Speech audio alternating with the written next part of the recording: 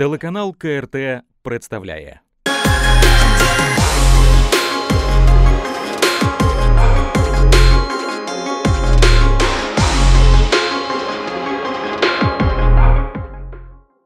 Асоціація давно підписана. Безвіз отриманий, стяги ЄС майорять з кожної державної будівлі. А в Конституцію записали, що ми Європа. Але скільки не каже халва, а солодше від того не стає. В ефірі програма Презумпція винуватості. З вами я і ведучий Дмитро Василець та адвокат Андрій Гожень. Вітаю вас. Мир вам.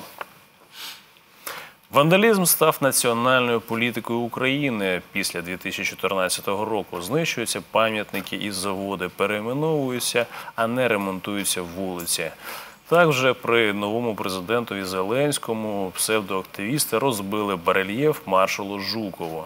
Наші глядачі просили з'ясувати, хто дозволив таке свавілля і що з цього приводу ми все ж таки.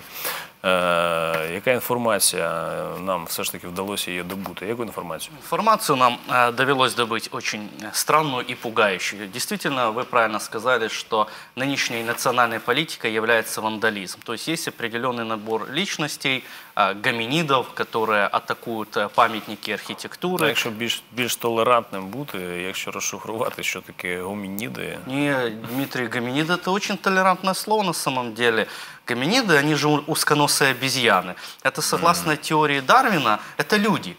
То есть, когда людей классифицировать и отнести к какому-то классу и типу животных, то мы относимся к животным, которые называются гоминиды, то есть человекообразные.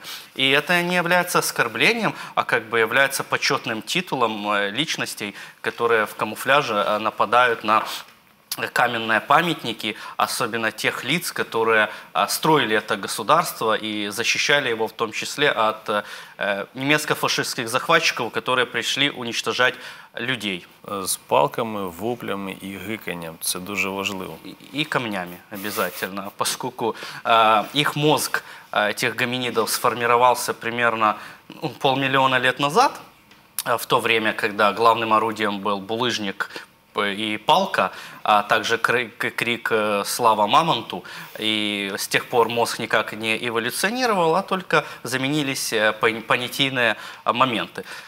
Итак, мы помним, что примерно год назад, когда уже наш верховный главнокомандующий Владимир э, Зеленский стал президентом, вернее, Зеленский стал президентом, и он же по должности главнокомандующий. Кроме того, согласно нашей Конституции, у нас есть лицо, персонально отвечающее за Конституцию. А, То есть некий смотрящий элемент Конституции – это президент, потому что он является ее гарантом. И пришла новость из Одессы, жемчужины у моря, который отдал самое большое количество голосов да, за Владимира Зеленского, что а, группа гоминидов атаковала барельеф маршалу и герою Советского Союза Георгию Константиновичу Жукову.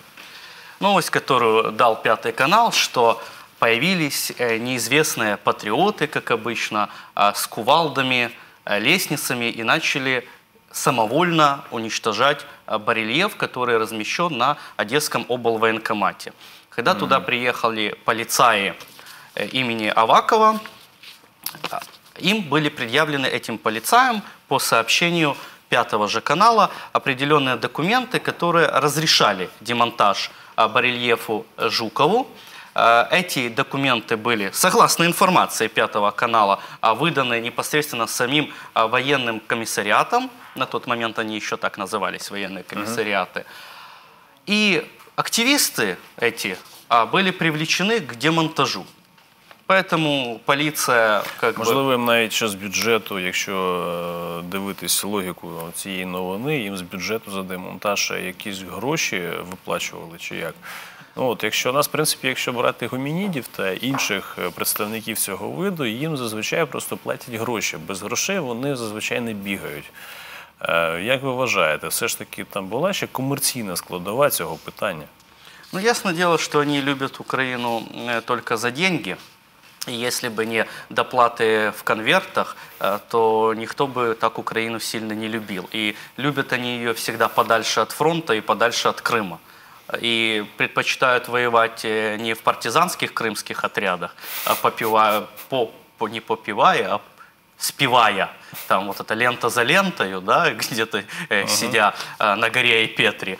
А вот подальше в Одессе под охраной а, аваковских, э, ну, соколами их нельзя назвать, аваковских куропаток поскольку прибыли, а это тоже птица порядочная, э, прибыли, да, да, и прибыли аваковские куропатки и говорят, мол, ребята, а что вы тут молотками посреди Одессы? Так люди начали ж возмущаться, потому mm-hmm. что все-таки э, маршал Жуков, который в том числе уничтожил э, преступность послевоенную в городе Одессе, который контролировал восстановление Одессы, является героем для большинства жителей Одессы, как бы мы, ну, допустим, исторически не, не оценивали а, ту или иную персоналию. Поэтому а, аваковские куропатки это дело охраняли, и на возмущение людей они спросили, товарищи, а, они, как они говорят, активисты, можно к вам обратиться? Разрешите, пожалуйста, не бейте нас, э, не бейте нас топором, ножом, то есть, э, извините, мы ну, должны к вам обратиться. И активисты им так в морду раз, и разрешение кидают. Ну и, mm-hmm. и полицаи говорят, ну они вы показали нам разрешение, и там главный их э, гоминид, предводитель, как бы их альфа-дог, альфа-собак главный, там самый волосатый, и, и самый щиро размовляющий говорит, закон про декоммунизацию, э, закон обратного действия не имеет, улицу переименовали, барельеф надо снести. Причем тут закон обратного действия не умеет? Ну, видно, этот молодой человек услышал непонятное слово, э, непонятную формулировку, не зная его значения.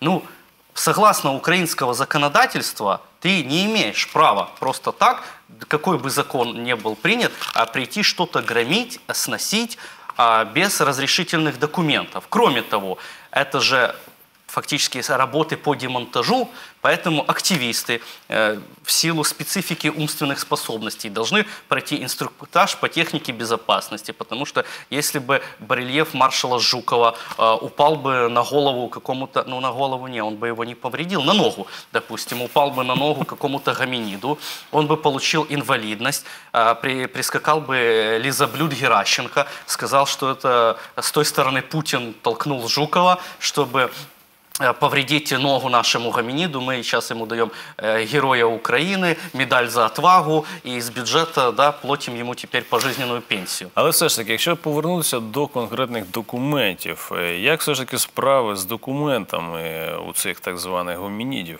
А с документами у них э, все неизвестно. Да, а, наши телезрители обратились э, к нам насчет этого вопиющего факта провести расследование. Мы действительно сделали ряд адвокатских, журналистских запросов, провели такую себе деятельность. Нас заинтересовало следующее. Во-первых, какой конкретно разрешительный документ – а, был предъявлен э, активистами, да, потому что, ну, может, должен быть проект, разрешение, допуски э, на работы. Какой, как называется этот документ? Ну, он же должен иметь название, там, декларация о работах, правильно? Следующее. Э, кем было принято решение про, монтаж, про демонтаж а, барельефу Георгия Жукова? Ну, там же должна быть чья-то подпись и, и печать, там, как вот Конкретно, допустим, Дмитрий Василец забрал все маски из Госрезерва. Правильно, как, как сообщил Госрезерв. Вот. Должна быть печать, подпись, э, чтобы мы знали, кого раз... Кого розпікати об этом. Да. Спілкуватись на цю тему да, да, да. і все ж таки вот. да, Потом, дивитися, як ситуація ця розвивалася. Кто принял решение про привлечение э, вот этой низкоквалифицированной рабочей силы? этих э, патриотов профессиональных. Извините, у нас же действует четкое трудовое законодательство, а если ты, не дай бог, взял работника не по трудовой книжке, так называемой, то тебе прискачут куча инспекторов, инспекторов выпишут штрафы, за ими э, прилетят менты, возбудят уголовные дела. Правильно? Ты не можешь просто так взять человека. Должен быть... Постривайте, не вважаєте. І наскільки я пам'ятаю, у представників так званих активістів трудова книжка і їх трудовий стаж це зовсім різні речі. І я от не чув, щоб хтось з цих активістів працював по трудовій книжці. Просто зазвичай, якщо по трудовій книжці, теж потрібно в Україну налоги налоги сплачувати. А це вже проблема. Трудова книжка лежит, наверное, у чекистов их вместе с паспортом в залоге. Поэтому да, вы действительно заметили, ну просто так нельзя человека взять. Если человек даже добровольно хочет помочь, правильно, ну он должен какое-то волонтерское заявление написать. Ну кто будет нести ответственность, если действительно это на минуточку строительная демонтажная работа, да? Если кто-то травмируется, mm-hmm. кто ему будет пенсию платить, кто будет страховки выплачивать, это серьезный момент. Э, нельзя просто так. Ну давайте сейчас мы с вами поедем в Германию и будем демонтировать э, могилу Бандери. Ну, что он вообще в Германии похоронен? Его надо тут перезахоронить, правильно? Mm-hmm. Что, на чужбине до сих пор мается. Просто у нас, Дмитрий, такие бандеровцы. Им на самом деле плевать на того бандеру, где он похоронен. Может, да, ладно, может, ладно, продолжаем юридическую часть. Мы этот вопрос поставили, поставили раз вы э, можете э, брать вот этих вот гоминидов и привлекать их на работу, слушайте, у нас тут мост Шулявских надо чинить, там мост Патона, улицы асфальтировать, может направить их, э, вот этот молодецкий гормональный прыщавый запал э, в какое-то конструктивное русло, полезное, пусть березки Пусть смереки сажают хотя бы. Вот. Дальше. Ну и, конечно, раз э, прискакали э, эти товарищи, а, то рассматривался ли вопрос о том, чтобы восстановить а, барельеф а, уважаемому Георгию Константиновичу Жукову. И мы получили ответы. Кстати, это очень редкий э, случай, когда мы получаем полные ответы а, по нашим запросам, документальные, не какие-то витиеватые увертки, да, э, цитирование, пересказывание на 10 страниц законодательства с одной строчкой, там, что президент не знает, в кого он взял гроши. Да? Mm-hmm. Вот. Э, поэтому мы верим, что настоящие патриоты в Одессе есть, мы им подмигиваем. Спасибо большое, в том числе людям, которые служат э, в нынешней вертикали нашего верховного главнокомандующего Владимира Зеленского. Mm. І що ж там все ж таки у нас вони відповіли? Вот. Значит, в ведомстве Верховного... Да, это новая натовская форма. Значит, мне передали... Ні, це все ж таки стара, я, я думаю, що старенька. Що, меня обманули? Я думаю, що так. Там є піксельна в них вже, але все ж таки повернемося до документів. Да нет, просто я позвонил в администрацию президента и попросил, дайте мне, он же подписал указ о концепции работы с НАТО не, не, не, несмотря на то, что обещал на референдум это поставить. И я говорю, пришлите верховного главнокомандующего в мундире, только не в эсэсовском, который он ходит с мертвой головой, а уже в новом натовском стандарте это прислали. Видно, видно надо мной пошутили, поиздевались. Хорошо, хорошо. Все, все, отвечаю, отвечаю на ваш вопрос. Значит, э, первое. А, военкомат сказал, что они не принимали решение о демонтаже памятнику Георгию Константиновича Жукова никакого решения они не принимали. Угу. Соответственно, пятый канал соврал. Далее, э, они не знают, кто привлекал активистов к этому вопросу. Соответственно, пятый канал соврал. А активисты, гоминиды не могли предъявить э, никаких Филькиных грамот от а, военкомата, поскольку, полиции, поскольку военкомат им этих документов не давал. И тут два варианта. Угу. Опять, пятый канал соврал, ну это честно. Ну, це стандарт. И, и второй це, вариант. Це, це, оце не дивує. Може, але они полицаям чому предъявили які, поддельные які документы. Вони пред'явили? Они, может быть, предъявили поддельные документы. Нам же не называют, что это за документы. Следующее. Данное здание, когда мы начали выяснять, находится на балансе у Э, военного ЖЭКа. Там у него длинное название, его тяжело выговорить, но суть это военный, военный ЖЭК. Uh-huh. То есть ЖЭК, который должен заниматься что уборкой территории, э, покраской газонов, э, из, да, да, вот это уборщицами, дворниками, uh-huh. коммуникациями. И нам намекнули, что, мол, это, вот это ЖЭК приняло решение о сносе барельефа. Очень любопытно. То есть в нашей стране Э, начальник ЖЭКа с Бодуна может подписать бумаги на снос памятника? Дмитрий, так мы можем с вами силами киевских ЖЭКов э, за, за бутылку, э, сейчас водку так продают или нет, Ющенковскую? За бутылку водки посносить памятники всем э, новоявленным героям, оказывается. К чему я веду?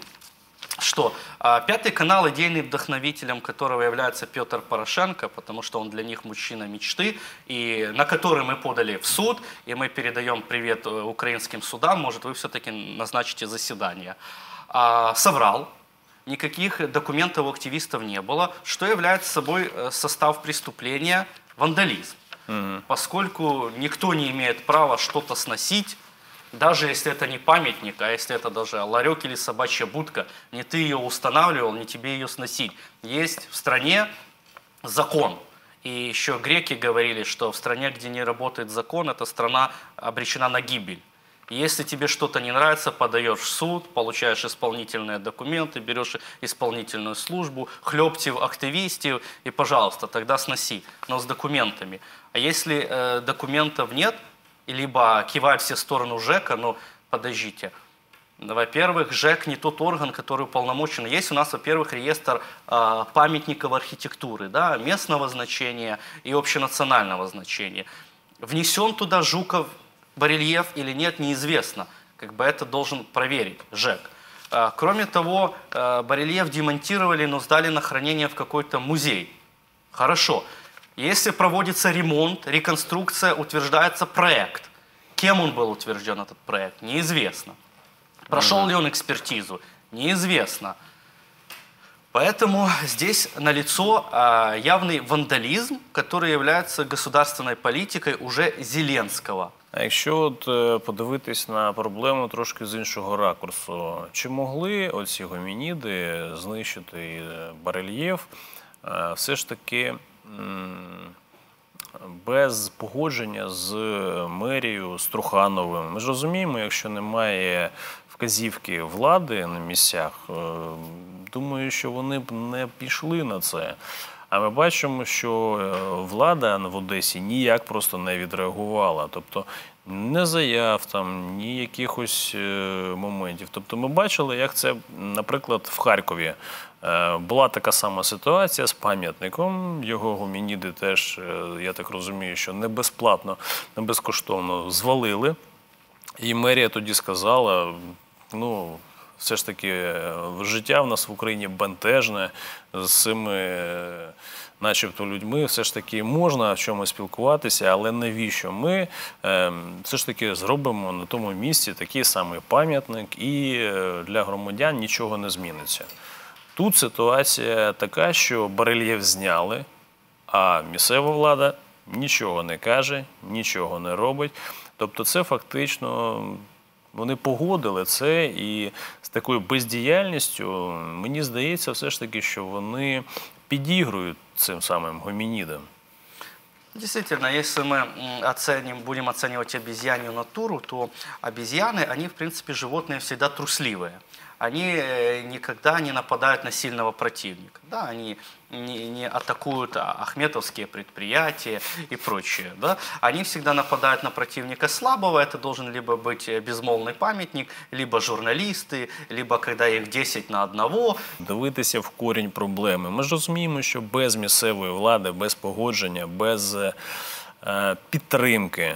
Вони б цього не зробили, але це все ж таки трапилося, і ми розуміємо, що з моєї точки зору, частина вини е, з цього фактично е, безпреділа, вона лежить конкретно на мерії і конкретно на місцевих чиновників, які відповідали за це. І коли це все трапилось, вони все ж таки нічого не зробили. Я чуть-чуть с вами не соглашусь, поскольку задача по сносу памятников была централизована, и не только в Одессе, по всей Украине.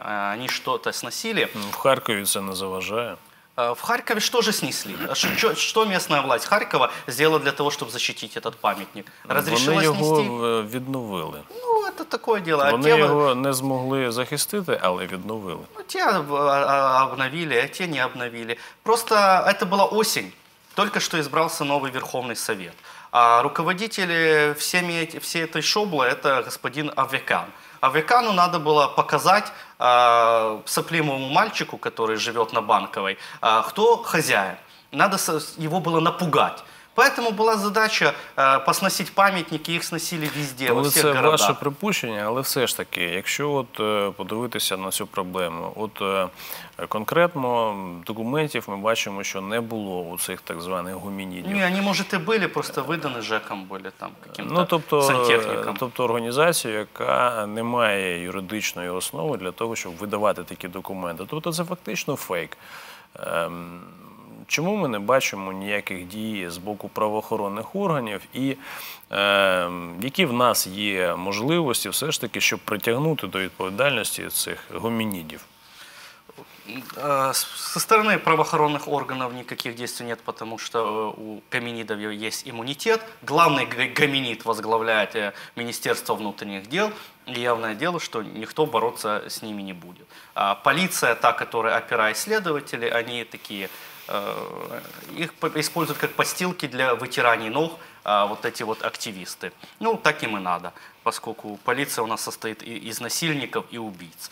И Але не что мы вся, делаем? але не вся, і це ж це, А, це ж Послушайте, таки после того, что произошло, частина. после того, что произошло, для меня как бы эта полиция, как орган, перестал существовать. Полиция, где насилуют женщин, такой орган существовать не может. Если после этого не произошло тотальной переаттестации, расформирования, увольнения руководителей, значит это орган насильников и убийц. И возглавляет это все президентская вертикаль. Что мы будем делать? Слава Богу, Це ваша точка зору, але ще йдемо да, далі. да. Кроме э, полицаев, насильников и убийц, у нас еще есть прокуратура, а, которую возглавила милая женщина. Э, Надеюсь, она уже себе красивую форму пошила. Так вот, есть у нас две статьи Уголовного кодекса. Это э, умышленное уничтожение или повреждение имущества, а также э, незаконное уни- уничтожение культурной собственности. Так как мы не получили точного ответа, является ли, входит ли данный барельеф в перечень объектов культурной собственности, у нас, соответственно, есть две статьи. По этим двум статьям мы будем преследовать чиновников, которые позволили а, данное действие. Преследовать а, активистов смысла нет. Э, почему? Потому что а, на них и так висят там по 50 этих уголовных дел нерасследуемых. Им там делом больше, делом меньше. Они просто а, пойдут э, в свою в ЧК и получат э, усиленный па- паек польским салом и африканскими бананами. Поэтому чиновников конкретно, которые препятствовали, вот этих полицаев, которые приехали туда, а, органы местной власти, а, органы военной администрации, да, э, того же военкомата и этого военного ЖЭКа мы будем а, привлекать э, к уголовной ответственности. От з вашої точки зору, ну, якщо от подивитися, що маршал Жуков, ну це об'єктивно та людина, яка звільняла Україну, Звільняла там Одесу, і в принципі дуже авторитетна людина в світі. Е, Не вважаєте ви, що за заслуги перед Українською е, Радянською Соціалістичною Республікою все ж таки потрібно, е, в зв'язку з тим, що Радянського Союзу більше не існує, потрібно йому надати статус Героя України, щоб об'єктивно він його заслуговує. Він все ж таки врятував нашу Україну від нацистських загарбників. То есть вы хотите, чтобы э, какой-то Георгий Жуков был таким же героем Украины, как и спикер Литвин? Нет, нет, нет, он, он не достоин. Нет, Дмитрий, конечно, нельзя ему давать сейчас э, героя Украины, потому что э, нынешняя власть мнит себя наследником какой Украины?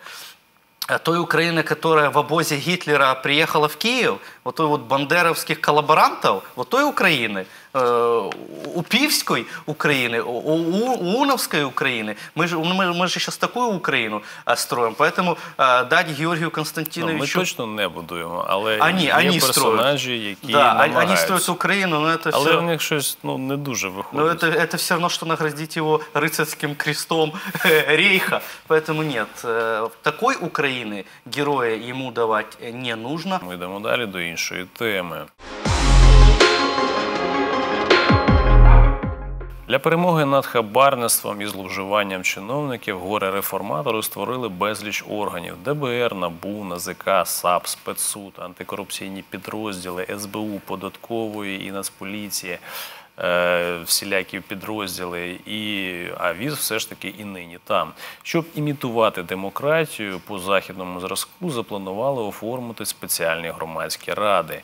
І отут дуже цікаве питання. У нас є Національне антикорупційне бюро, і там якраз зробили оцю громадську раду. І е, я думаю, що ви, як юрист, е, більш детально розкажете, що таке громадська рада, навіщо вона потрібна, щоб для наших е, глядачів було зрозуміло, про що ми зараз будемо говорити, розбиратися і докапуватися до суті.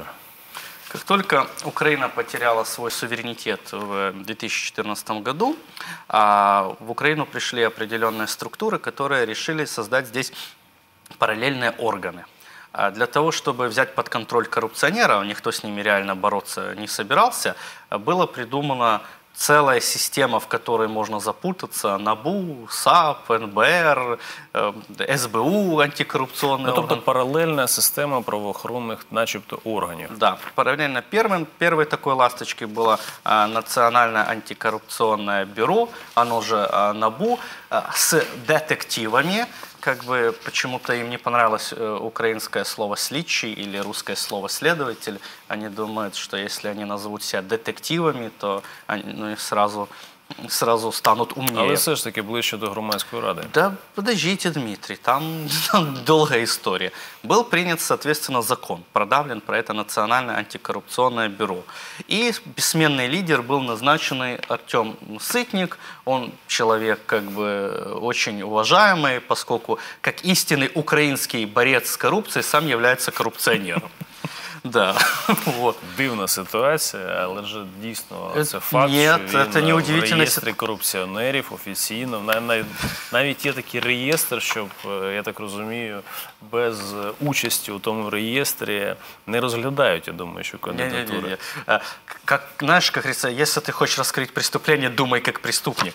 Поэтому э, С- Сытник решил раскрывать коррупционное преступление, э, сам будучи коррупционером.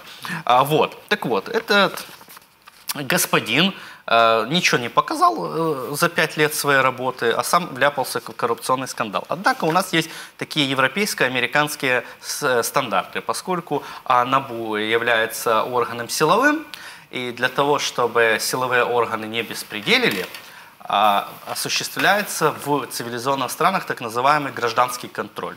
То бишь при силовых органах создаются из общественных активистов определенные структуры, которые имеют э, функции специфического надзора.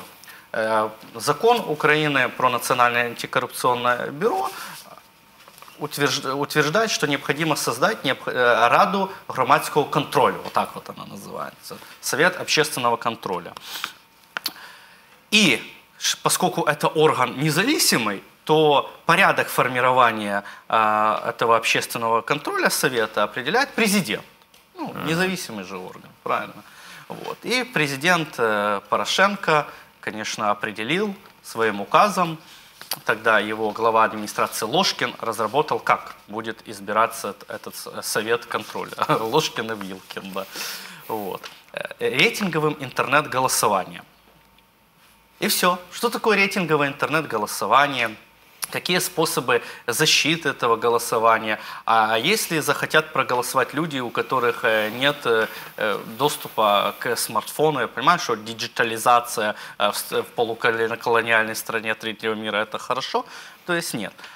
То есть, а, законодательство было написано настолько зыбко и вяло, что когда люди начали участвовать в этих выборах, мы поняли, почему это произошло. И вот приходит новость, что избрана новая рада вот этого громадского контроля. НАБУ Але, торжественно... але, але постривайте, Е, якщо от проаналізувати от е, громадську раду, ми, як е, представники громадянського суспільства, журналісти, активісти, таке інше, ми все ж таки туди пішли балотуватися два наших товариші. І давайте просто подивимося, які результати їх, е, які результати вони отримали. От і що ми бачимо, ми зараз можемо подивитися відео.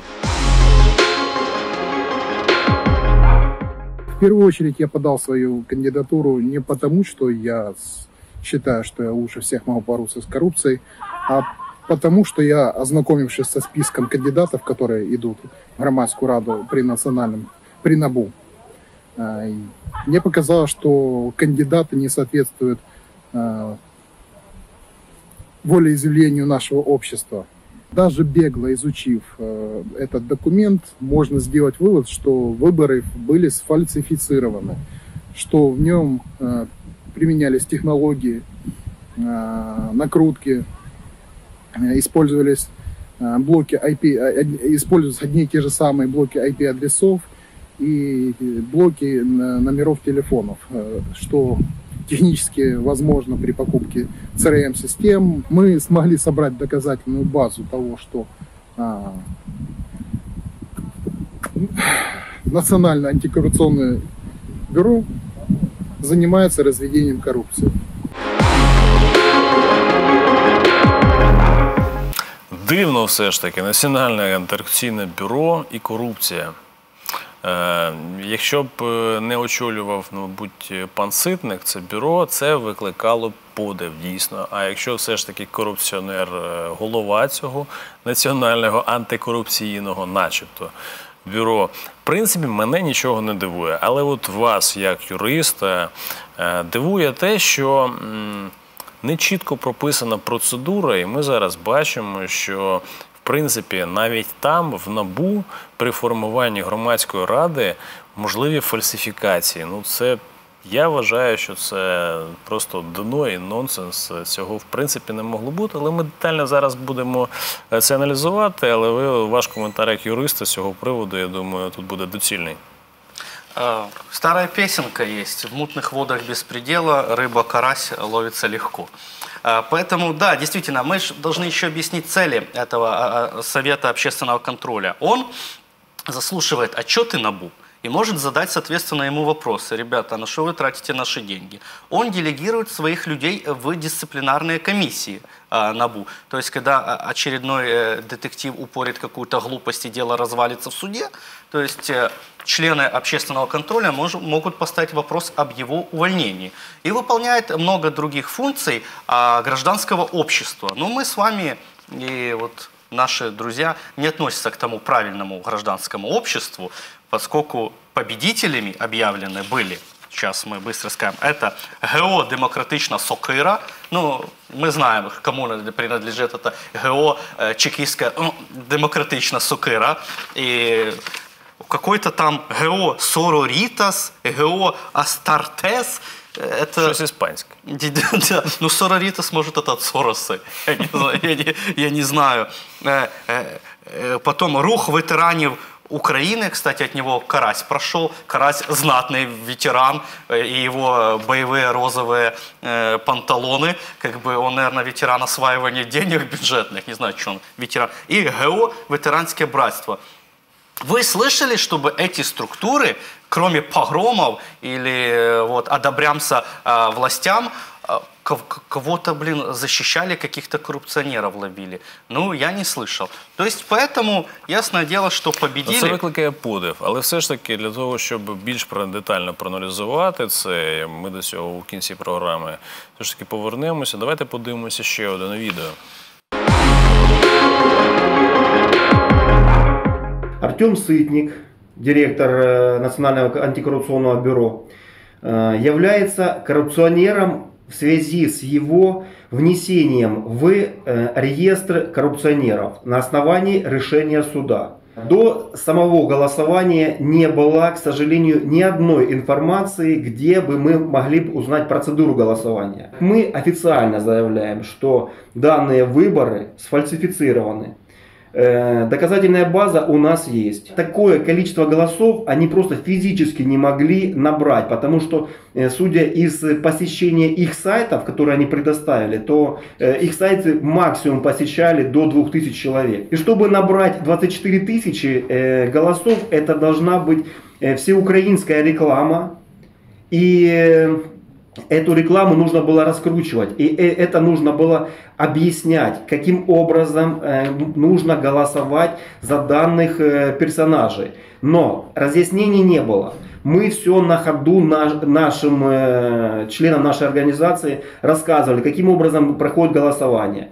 И очень важный момент, что я хотел бы заметить, что поколение, которое не обладает возможностью покупки э, смартфона или доступом к интернету, а это поколение, можно сказать, что от 50 и выше, это поколение просто выброшено с возможности отдать свой голос за, за любого кандидата.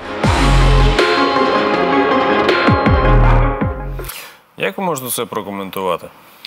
Хочу да, да, дальше продолжить, что согласно закона, э, законодательства, этот орган Рада национального контроля состоит из 15 человек, и выборы были сделаны так, чтобы эти 15 человек, вот чисто вот это э, называемый соровский, соровский чекистский пул, вот именно туда попал, чтобы никакая мышь из реального гражданского общества туда не проскочила и не смогла а, проточить э, систему вот этой круговой поруки и бездарей, дармоедов и бездельников из э, Национального антикоррупционного бюро. Подивимося ще одне відео.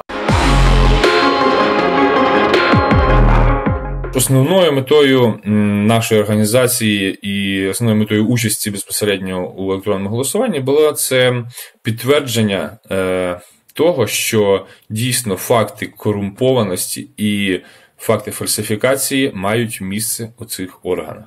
Настільки ці підлі грантоїди так хотіли просто похизуватися і просто не могли дочекатися вже того часу оприлюднення результатів, що вони вже одразу одразу після закінчення електронного голосування почали у себе на сторінках, там медіа ресурсах і Фейсбуках викладати інформацію, що вони вже всі перемогли.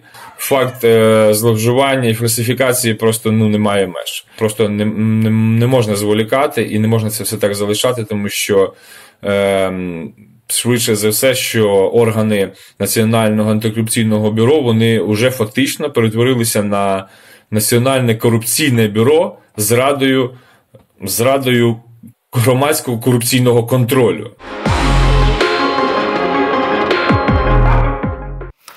Важко не погодитися з колегою, і от зараз прошу студію видавати на екран якраз оці IP-адреси.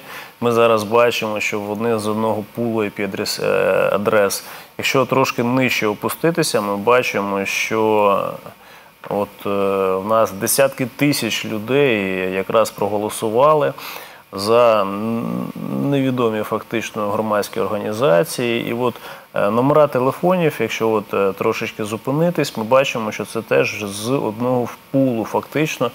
Е, номерів, і це теоретично і технічно це неможливо. Якщо ми бачимо тут такі явні факти порушення, явні факти фальсифікації, я думаю, що тут треба розслідувати це і е, виявити, хто конкретно винен у цьому, е, хто з е, набу відповідає за це.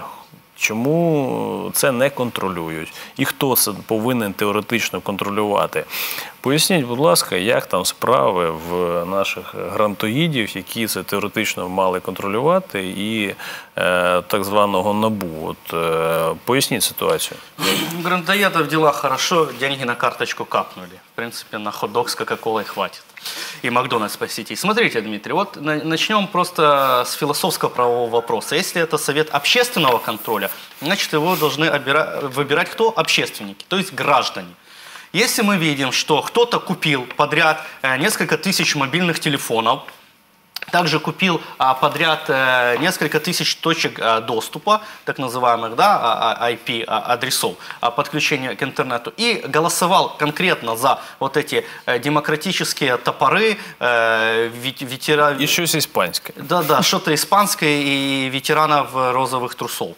То есть, а, то явное дело, что мы можем предполагать, что голосовали не люди, а какие-то алгоритмы, программы, либо сидел один человек. То есть для этого были потрачены деньги, ресурсы.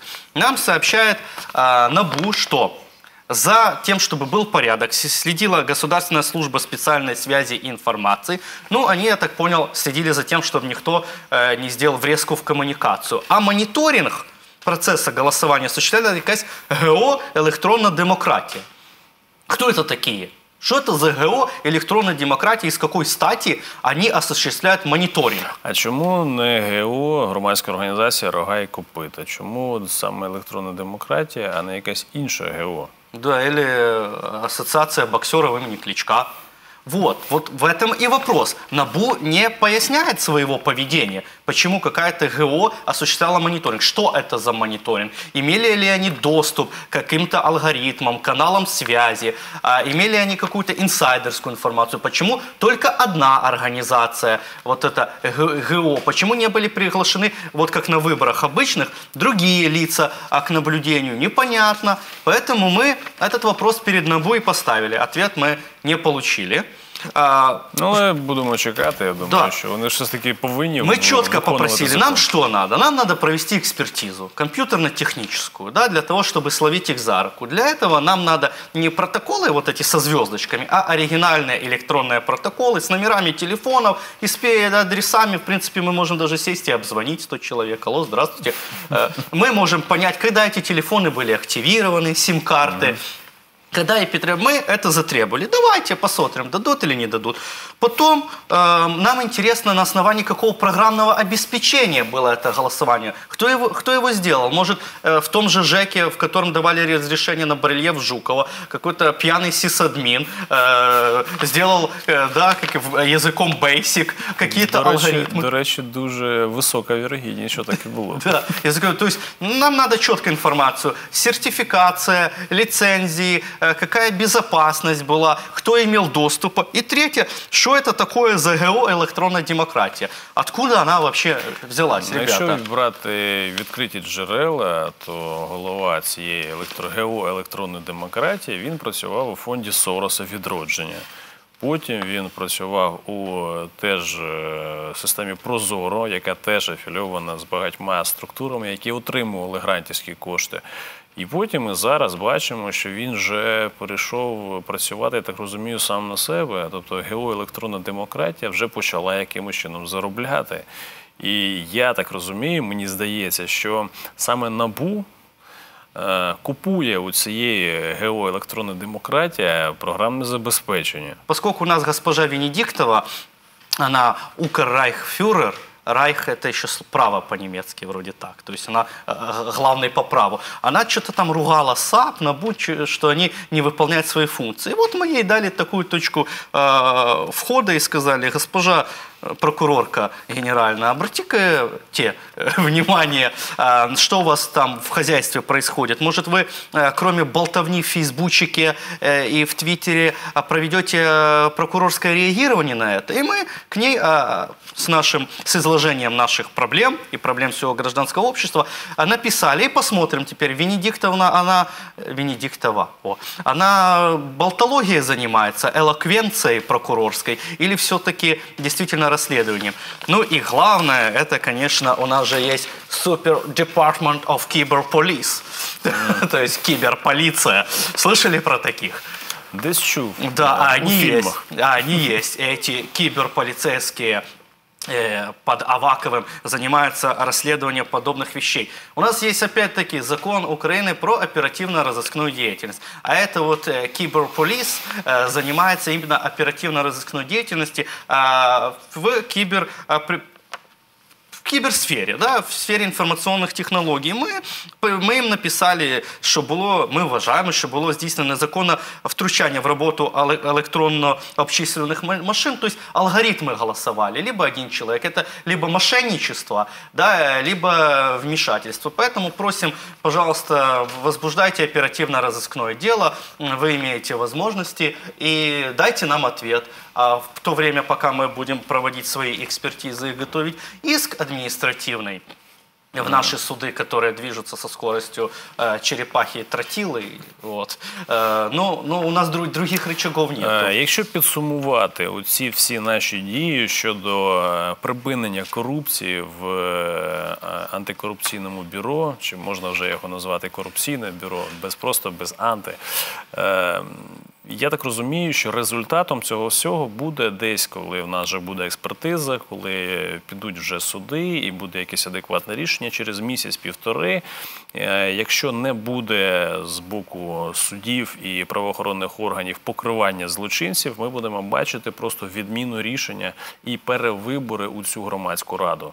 Е, Нічого я не переплутав, і можливо щось я забув сказати з юридичних оцих тонкощів. Э, с- Да, э, с точки зрения вы абсолютно ничего не, не перепутали. В административном порядке мы попытаемся обжаловать, хотя там очень зыбкая правовая почва, а, но других рычагов влияния нет. А пока, а пока, поскольку господин Артем э, Сытник, он обделен э, орденами и медалями в борьбе с коррупцией, мы решили сделать такое пронунциаменто, и э, вручить ему виртуальный орден имени Борислава Соломоновича Розенблата.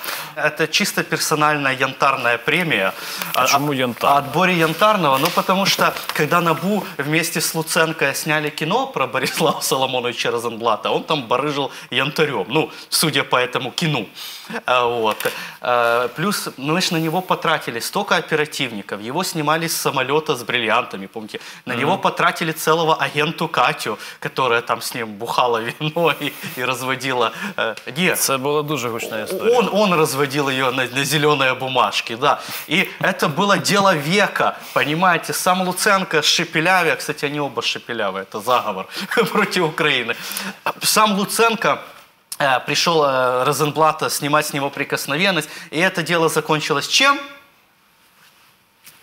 грандиозным э, выбросом воздуха э, в нижние слои атмосферы со стороны НАБУ. Вся суть существования вот этого НАБУ и их детективов упирается вот в Борислава Соломоновича. У него есть фонд благотворительной родины Розенблата. Я сегодня туда позвоню, и он Сытнику выпишет еще одну премию. Чи є змога у НАБУ притягати до відповідальності от таких корупціонерів? Есть э, у НАБУ у нас две проблемы. Это, во-первых, низкая квалификация. Я помню, когда конкурс НАБУ проходил, и показывали по телевизору вот эти тесты, и сидит такая девочка, я не шовинист, конечно, но она такая сидит и говорит, я ловила коррупционеров э, в э, Генеральной прокуратуре, а теперь я иду ловить их в НАБУ. Знаете, ну, во-первых, низкий квалификационный уровень, потому что у нас же съедает все непотизм, кумовство. И ты попадаешь э, служить, работать, только если у тебя есть хорошие связи. Туда идут там любовницы, любовники, девочки, мальчики, сыновья, кумовья, с которых ты уже не можешь требовать ничего. Потому что он позвонит папе э, в Нацбанк скажет, папа, меня обижают, тут работать заставляют. Это раз. Во-вторых, это э, потеря суверенитета. И НАБУ создавалась не как орган, чтобы победить коррупцию. Зачем? А нашей метрополии интересно, чтобы здесь была коррупция, потому что это крючок, на который можно посадить любого чиновника. Деньги же он вывозит к ним, а, да, а, в Америку, в Европу. Его можно посадить на крючок, наработать материал и всегда его держать э, за Фаберже. И когда он не хочет э, за землю голосовать, да, говорит, я не буду голосовать за землю, тут раз, раз за ФБРЖ, раз, и кнопки давят, аж, аж, аж пар идет. Байдужим ставленням до політичної охайності та репутації можновладців українець розплачується своєю кишенею, здоров'ям та майбутнім нашої держави. Лише спільними зусиллями ми даємо Україні вітчизняну та народну владу. З вами у програмі «Презумпція винуватості на каналі КРТ були Дмитро Василець та Андрій Гожий. Побачимось.